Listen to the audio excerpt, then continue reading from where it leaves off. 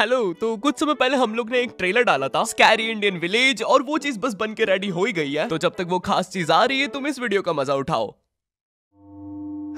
ओए पापे ये देख अभी रुक, बहुत इंटेंस माहौल चल रहा है इधर। तो तुम नहीं बताओगे मास्क के पीछे कौन है? बबले, तुम्हें मालूम है इसके साथ क्या करना है। इसकी छाती पे सबसे छोटी वाली चिमटी भर दूँ कि निप्पल मरोड़ दूँ? नहीं नहीं बबले, हम लोग विलन है, राक्षस थोड़ी ना। एक काम करो, गोटा फोड़ दो इसका। कृषु कृषु मैं मैं कृषु फैंटास्टिक फैंटास्टिक न न न न न न न क्या कर रहा है ये मेरे को कुछ सही नहीं लग रहा न, न, न, न, जब भी मुझे दर्द होता है या अच्छा लगता है मैं यही करता हूँ न, न, न, न, ये मेरा डिफ़ॉल्ट फीचर है न, न, न, न। ये सब हरकतें करने से तुम्हें कोई बचाने नहीं आ रहा है मैं बचाऊँगा क्या वो किसी की बूंद है? ओए ठंड पै गई ओए। पापे तू मेरा हर खिलौना अपनी बूंद में क्यों ले लेता है? यार वो क्रिश वाला खिलौना मैं नया लेके आया था। हेलो हेलो आवाज़ आ रही है? हेलो दोस्त देखो मैं तुम्हारी बूंद से बात कर रहा हूँ। देखो यहाँ पे नेटवर्क बड़ा ही कम है इसलिए मेरी बात ध्यान से सुनना। चुप चुप बिल्कुल चुप। देखो दोस्त मुझे नहीं पता मेरे पास कितना समय और बचा है लेकिन क्या प्लीज़ तुम मेरे बीवी बच्चों को बोल दोगे कि मैं एक शानदार विलन की मौत मरा ना कि ऐसे कोई अरे गहरे पाजी की पुण्य में जाके? मेरे खिलौने ज़िंदा थे? अरे तू छोड़ ना तू बता नहीं क्या बता रहा था। अम हाँ तुझे पता है इस डिवाइस से हम किसी भी कार्टून में टेलीपोर्ट कर सकते हैं। पापे नहीं नहीं पापे!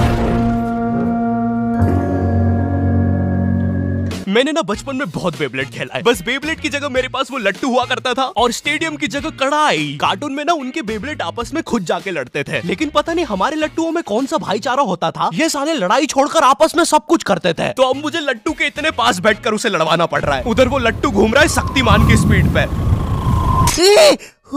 बच गया अगर वो लट्टू मेरे सर पे लगता तो मैं तो मर जाता अरे नहीं नहीं, मैं मर चुका हूँ हाँ मैं मर चुका हूँ। लगा था वो लट्टू मेरे सर पे। बेबलेट वाले शो में ना उनके बेबलेट से एक बीस्ट निकलता था, लेकिन हमारे पाँच वाला लट्टू कोई बीस्ट नहीं निकालता था। ये अगर कुछ निकालता था तो वो बच्चों के मुँह से दांत या आँख, और कभी कभी तो चिंगारी भी निकल जाती थी। वो रोड पे जम से फेंक दो तो। तो अब बीस्ट वाला फीलिंग देने के लिए हम बुलाते थे मोनू और बाबू को। देखो, हम सबके बचपन में एक ऐसा दोस्त तो होता ही है, जिसे देखकर हमेशा ऐसा लगता था की ये सीमेंट के बोरे से उठ के आया है। पूरे समय उसके बालों से सरसों के तेल के हग्गापे की बदबू आती रहती थी। हाँ यही दोनों थे मोनू और बाबू ये दोनों बनते थे हमारे बेबलेट के बीस्ट वैसे कायदे से तो इन दोनों को किसी तेलुगु पिक्चर में तेल और गू नाम के दैत्य या तो असुर बनना चाहिए था। खैर तो ये दोनों लट्टू के पीछे बीस्ट बनकर लड़ाई करते थे। कभी कभी तो ये लोग अपने ही किसी गेम में बिज़ी रहते थे। ए, ए, गोटियों का बादशाह ला मेरे कंचे। ओए वो देख चिड़िया। किधर है चिड़िया? किधर है? ओए! कोई बात नहीं दोस्त तुझे तो पता ही है बाबू ऐसा ही है। तुम्हें पता है ना ये कितना ज़रूरी सामान है? वो देखो चिड़िया किधर है? अरे किधर है चिड़िया? है? साला हमको झूठ बोला। तु, तु, तु, तुम क्या देख रहे थे बे मोटे? आपको तो पता ही है सर। बाबू ऐसा ही है। हैं? तुम मेरी बीवी के साथ क्या कर रहे हो? हैं? चिड़िया! अरे रूम में कैसे आएगी? किधर है चिड़िया? अरे मेरी बीवी! तुम्हें तो पता ही है दोस्त बाबू ऐसा ही कौन है तू? अब तू कौन है? मैं तुम्हारी पत्नी का तीसरा बॉयफ्रेंड अपनी बारी का इंतज़ार कर रहा था और बस मैं ही नहीं हम सब अपनी बारी का इंतज़ार कर रहे थे। चलो वो जा चुकी है। चलो भाई चलो मुझे तो पता ही था इससे तो पोस्टर भी चला जाता हमारे मोहल्ले के लट्टू वर्ल्ड चैंपियन थे सोंटी भैया और इनके पास था एक विनाशकारी मूव।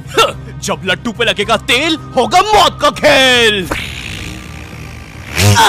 अरे बाप रे से? अगर एक बार वो लट्टू सोंटी भैया की बुंड में घुसा फिर तो सोंटी भैया एक ही बार में पूरा मोहल्ला हरा देते थे। वैसे ये मूव बार बार करने के कारण सोंटी भैया के इंटरनल ऑर्गन डैमेज हो गए थे। देखो सोंटी मुझे तुम्हें बताते हुए बड़ा बुरा लग रहा है लेकिन जब मैं पाँच साल का था मेरा मामा मुझे बड़े बुरे तरीके से छूता था। और हाँ तुम्हारे इंटरनल ऑर्गन्स में काफ़ी गैप आ गया है। अब तुम कभी माँ नहीं बन सकते। हाँ मुझे पता है तुम पहले भी नहीं बनने वाले थे लेकिन जस्ट इन केस नहीं है कोई जस्ट नहीं है ये जस्टिस इन द केस है। मेरी बीवी ने मुझ पे मारपीट का केस किया है। मेरा माँ बनने का सपना सपना ही रह गया। वैसे तुम हॉस्पिटल में मोटरसाइकिल लेके क्यों खड़े हो? चलम निकल! शॉन्टी लाइफ में छोटे मोटे गेम नहीं खेलने का। खेलना हो तो इंडिया का अपना गेम सुपी लूडो। यहाँ पर तुम इजी इजी गेम्स खेल के लाखों में जीत सकते हो। ए भाई रास्ता रोक के क्यों खड़े हुए हो? क्या कोई इस हॉट से बंदे को यहाँ से हटाएगा?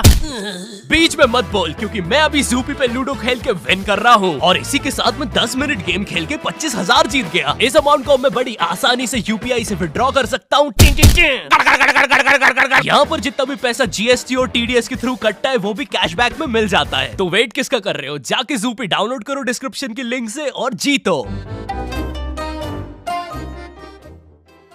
ड्रैगन बॉल जी भाई, इस शो को देखने में मैंने अपनी ज़िंदगी का इतना ज़्यादा टाइम बर्बाद किया है क्योंकि इसमें हीरो और विलन्स आपस में छह छह महीने तक नहीं लड़ते थे। तीन तीन सौ एपिसोड तक बस एक दूसरे से बातें ही करते रहते थे। गकू, फ्रीजा गकू, फ्रीजा! इनके आसपास मोदी सरकार ने पूरे देश का निर्माण कर दिया है, लेकिन ये लोग नहीं लड़े अभी तक। इससे तेज तो हमारे इंडियन सीरियल्स चलते हैं यार। इमेजिन अगर एकता कपूर ने ड्रैगन बॉल जी बनाया होता। आज साथ निभाना सुपर से में देखिए। गोपी, तुमने मेरा लैपटॉप धो दिया। गोकू मैं प्रेग्नेंट हूँ। अभी तो नहीं थी? लेकिन अब हूँ। है ना ये खुशी की बात? अब- हाँ हाँ हमें माँ को बताना चाहिए। माँ! गोकू बेटा हमारे घर पे सीआईडी घुस आई है। हाँ लेकिन क्यों? गोकू मुझे तो लगता है। गोपी माँ वो प्रेग्नेंट थी। क्या? कल तो नहीं थी? एकदम से कैसे? माँ चलो उसे नीचे से गिरते हुए देखते हैं। हाँ हाँ। गोपी!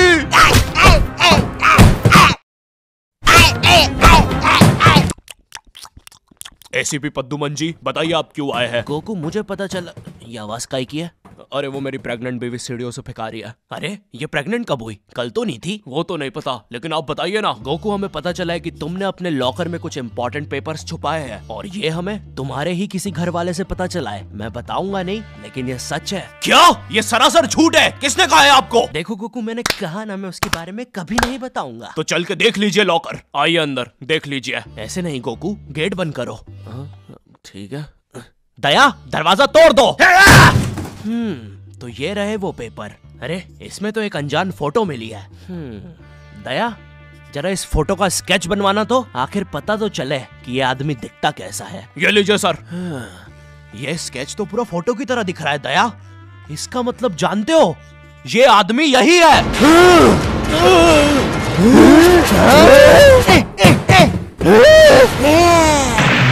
इस कार्यक्रम को रोककर हम आपके लिए लाए हैं। बचपन बचपन के दिन याद आ गए भैया। कौन सा बचपन? पिछले जन्म में देखता था क्या? करेज द कावली डॉग को बेस्ट ना उसके विलन्स ने बनाया था जिसमें मेरा फेवरेट विलन था। पत्थर लौटा दो। ये बिल्कुल मेरे दादाजी जैसा है वो भी ऐसे ही कुछ बोलते हैं। मेरी पथरी निकला दो। पत्थर ना मिलने की वजह से पत्थर लौटा दो डिप्रेशन में चला गया। और अब उसे डॉक्टर हग्गड़ पदास लेंडर से थेरेपी लेना पड़ रहा है। नेक्स्ट पेशेंट अरे भूप the bulldozer Bob the builder बताओ क्या दिक्कत आ रही है? अजी वो क्या है कि हम करके ही नहीं दिखा पा रहे हैं। हम्म लेकिन क्या? वो, जी हमें पब्लिक वॉशरूम में मूतने से बड़ा डर लागे। हम्म ऐसा क्या हुआ था तुम्हारे साथ? अजी वो एक दिन एक दिन।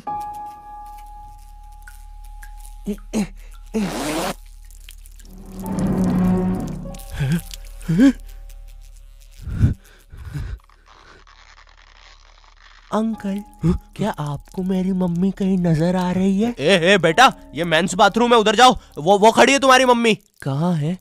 मुझे तो देखी नहीं ए, ए, एक चनकट मारूँगा अभी पूरी दुनिया दिखा दूँगा यहीं पे ही। देख डोरा एक्सप्लोरा। मम्मी तेरे पीछे मम्मी।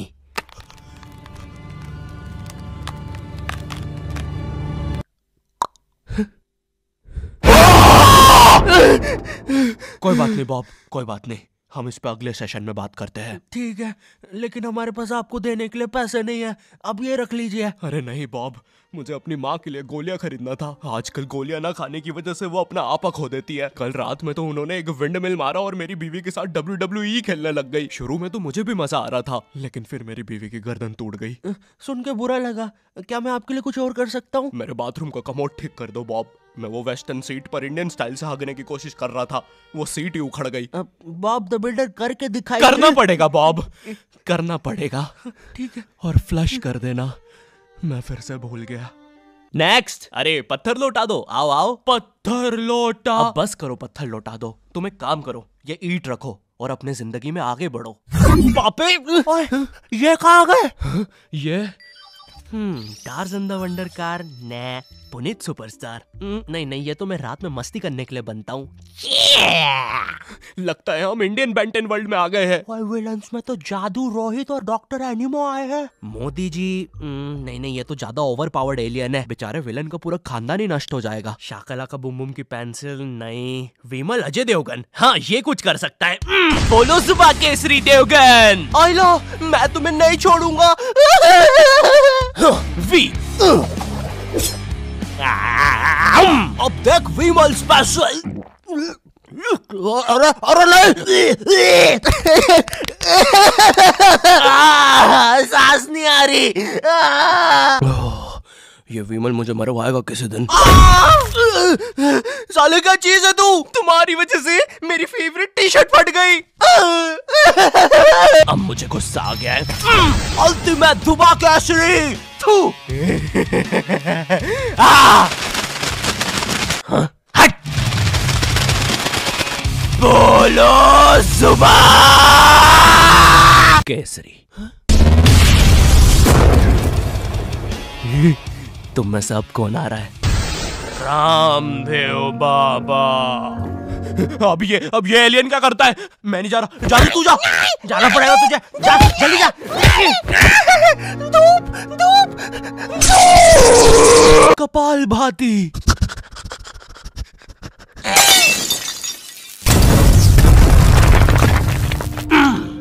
ये अब मेरा हुआ। फ्यूज उड़ा दिया। अल्टीमेट रामदेव बाबा। मार डाला। मार डाला किधर जा रहा है नीले नेवले? तुझे मारने के बाद तेरा मुरब्बा बना के बेचूँगा। जा जा मेरे वायर मेरे wire. Short circuit boom. Benton के डर से एनिमो कहीं दूर भाग गया। क्या एनिमो अगले एपिसोड में वापस आएगा? मुझे नहीं पता। मम्मी? एक ठंडा कोला लाना तो मुझे बहुत अच्छा लगता है। Coca Cola hello I hope तुम्हें ये वीडियो पसंद आई होगी क्योंकि भाई इसमें बहुत मेहनत लगी है। साथ ही साथ मैं दूसरी भी बहुत सारी कूल चीज़ों पर काम कर रहा हूँ पर मेरी बात सुनो। इधर आओ मेरी बात सुनो। इस वीडियो पर लाइक मारो अभी लाइक मारो। और अगर चैनल पे नए हो तो सब्सक्राइब करो ठीक है? देखो पैसे नहीं मांग रहा हूँ मैं ठीक है? वो शायद मैं अगली वीडियो में मांगूँगा। लेकिन अभी please like share subscribe share करो अपने व्हाट्सएप ग्रुप पे ठीक है? अगली वीडियो में मिलता हूँ। अब वो वैसे हाँ जूपी का लिंक डिस्क्रिप्शन में डाउनलोड करना मत भूलना। बढ़िया बढ़िया गेम्स खेलो रन करो।